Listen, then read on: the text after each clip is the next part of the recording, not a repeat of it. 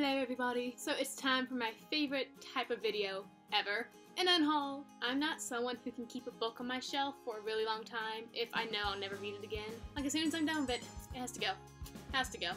Bye. Release into the wild. New owner. And I think I have seven books. I have them in a little pile right here. I'm not looking at them because I want my reactions to be fresh. Like, oh, this is why I want to get rid of it. So at this time, the first book I'm going to show you, I haven't filmed a review for, but I'm going to. And the first darling I will unhaul is Priory of the Orange Tree. I'm very tempted to just slide this off because I love the cover, and I think I just might give the book away. I paid $32 for this. I might keep this cover. So like even long before I began, I began reading this, I would like see this book on bookstore counters, this beautiful cover. I'd be like, ooh, it has a dragon. It's gold. The dragon looks angry. I want it. But against $32, that's an investment. If I don't like it, like what happened. Oh, sad face. But then I gave in to my impulsive tendencies and bought the thing. So Priory of the Orange Tree is a tale of many countries. The countries whose names I forgot, but let's just call them the East, the West, and the South. Those are the most important ones. The West hates dragons, the East worships dragons, the South hunts dragons. This book is told in four different perspectives. Let's see, Ed, Tane,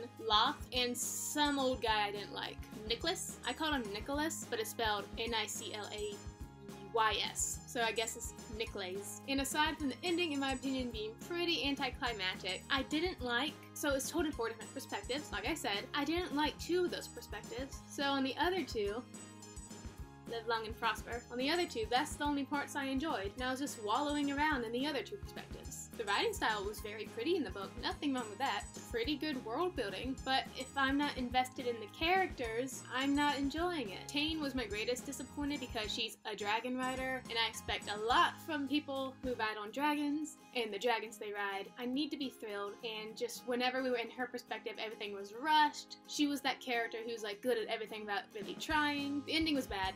I already said that. And I'll never reread this. Ever. Whew. Okay, next is...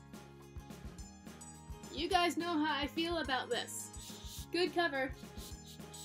Watermelon, fine. If you guys haven't seen my review for it, my like 29 minute review for it, I'll link it below in the description. But to summarize, the worst dialogue I've ever seen in a book ever. You got kids who are like 20 years old and they talk like they're 15. Everyone's as bland as tofu. The twist, which doesn't make generic, not generic, genre sense for its genre, genrenic sense. No, that's not a word. I don't know what's going on on this page. This book actually made me feel kind of bad about myself too. Like it's about a girl wanting to do college over again. She wants a fresh new start, so she goes abroad to England to study um, a writing course, even though her parents like pushing her to become a doctor. And like, even though you think and you know the message is supposed to be. I don't even know what the message is. I'm sorry. I gotta think. I think contrary to what the author wanted, it made people like me who like aren't that popular IRL, don't have a lot of friends around, has never had any romantic involvement, feel like poop. I get that that if you're some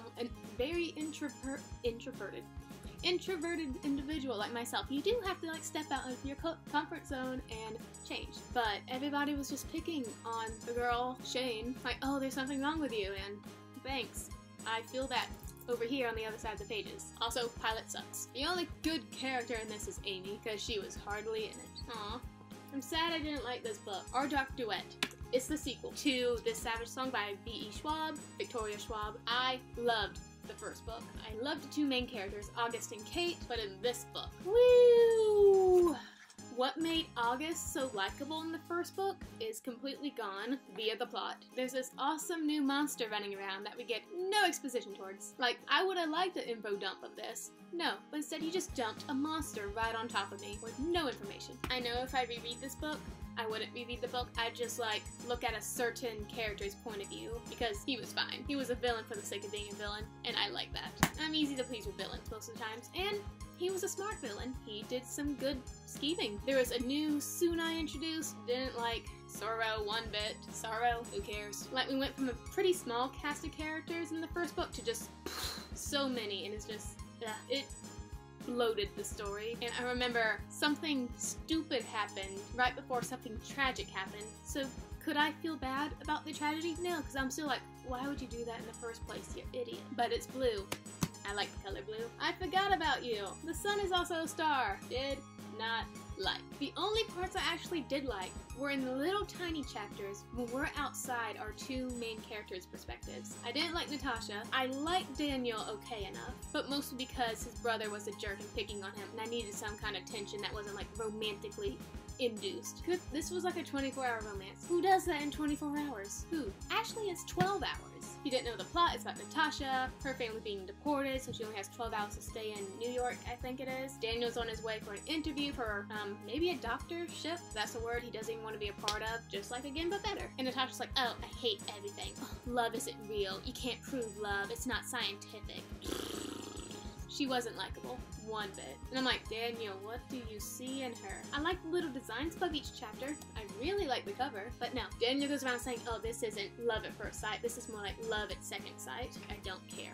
Stop it. Okay, book number five is Reckless by Cornelia Funke. I bought this book specifically not to do anything about it. I just wanted something sweet and bo not boring plain. Just some, it's a kid's book. That's all I wanted. It has cool little pencil drawings in it. But oh my gosh, I was so confused. Like, this book is like a dark take on the really classic fantasies like Sleeping Beauty, Snow White, but everything's just like twisted. And I love that. That's the only thing I like in this book. This book is about one brother, I think, what's his name? Jacob. His name's Jacob Reckless. Pet peeve. Someone's last name or the first name being one of their personal characteristics. He's on this quest to save his brother, who he hates, cannot stand, so why waste your time? Just let him leave him to his fate. And it just drops you into this world with no introduction. Like, I thought I had ac accidentally picked up a book midway through a whole series, third or fourth book, and nothing is explained. There's this whole year period where Jacob is trapped in the land of the fairies, being seduced. And you think he tells us about all those juicy bits? No, I want to know what you were doing with those fairies. Book number six is something I didn't finish. I DNF'd it. The Beast is an animal. I like this cover. It's just, it's a lonely stump growing in the woods. Can I remember what this book was even about? Okay, it's about this girl, Alice. She's a little kid, she's living in this village. All of a sudden, these two soul eater sisters swoop down out of the forest, kill all the adults, and now all the kids are just left. The kids are transported from that village to a highly religious village, and they are given the horrible, horrible jobs of just like guarding the gates. Say bye to all your precious childhood memories, you're just gonna be stuck looking at a gate for like all your days until you die, and your descendants too. So we have Alice, who, for about this much, is still seven years old. If you don't like child protagonists, I don't think you'll like this. And I'm not picky about that. I read The Room, which is told entirely by a five-year-old, and I loved it. But the thing about Alice is that she's a loner, so she doesn't talk, which is fine, but she also like doesn't think. You're just watching her do her stuff. She doesn't internalize everything anything. So she doesn't have a personality, and she's basically just walking around the forest and guarding the walls most of the time throughout the book, or at least the part I was reading. So yeah, I was bored. There was one scene I like where the beast like visited her and I'm like, oh, he's so cute. He seemed almost childlike. I'm like, he's cute. But then because I was seriously considering DNFing, I flipped through and saw that the beast would only like pop up two more times. I'm like, oh, there's nothing really keeping me here, so I bounced. This next one's gonna be very salty because I expected to love this book and it hurt me the most that it didn't. Finding Audrey. So I relate to Audrey quite a bit because I feel more confident and secure when I do have sunglasses on. Like you can't see my you can't see most of my face, you can't tell where I'm looking. It's just easier to get in the confrontation when someone's when someone can't see into your eyes. That's how I feel. I'm always like much calmer in like public spaces when I have eyeglasses on, sunglasses. So I'm like, maybe this will help me. It didn't because I don't have a boyfriend. And apparently a boyfriend is all you need to cure anxiety, and I'm all for getting a boyfriend, very much for a boyfriend. But they had no chemistry. Linus, I hate Linus. He just pops up, and all he does is smile. He had no personality. He just smiled. Audrey was fine, but like she struggled, but she didn't struggle enough. I didn't think it was believable because she had Linus. You know, just some good kissing, some hugging, and oh, anxiety, away away. Shoo. Oh, that reminds me. The thing I really hated about this book, yes, I said hate, I know it's a strong word, but it's a good word, is that an event caused Audrey's anxiety, but are we ever told what it is? No. It's hinted at, something involved with like bullying, but we are told that it was like beyond bullying that involved like three other girls. But what is it? Who knows? Nice cover though, it's blue. And there were actually parts in, in this book that made me laugh. Like I gave it a three. I actually read it twice, so I bumped the star rating up to a three because it was funny. And there are parts of this book that are told in like movie script, and I really like that. But everything else made me mad. And it ended in like a very, very close fourth wall break, and I don't like Don't you dare have a character turn to the side and wink up towards the heavens. So that is it for my unhaul. If you want a very, very brief summary of what just happened, made me angry, made me bored, made me confused, made me hate many people. It's actually kind of relatable now because Kate works at a coffee shop and I feel her emotions because I work at a coffee shop now. So I'm like, I get why you do that coffee. I get it. People make you do that. But yeah, made me mad because the characters weren't like, they lost their awesomeness. And just disappointing and anticlimactic. Oh, there's also something called the Nameless One, which if you think about it, is an oxymoron. You can't be the Nameless One because you technically have a name now, so I'm keeping this cover though. It's mine. Thank you everybody for watching my unhaul. If you didn't like these books, tell me why in the comments. If you did, tell me why I'm super wrong and should be pushed into a pit full of venomous porcupines. I will accept it. Thank you everybody. I am Casey and you are insanely beautiful today. That eyeshadow, girl, dang. If college starts tomorrow, send prayers.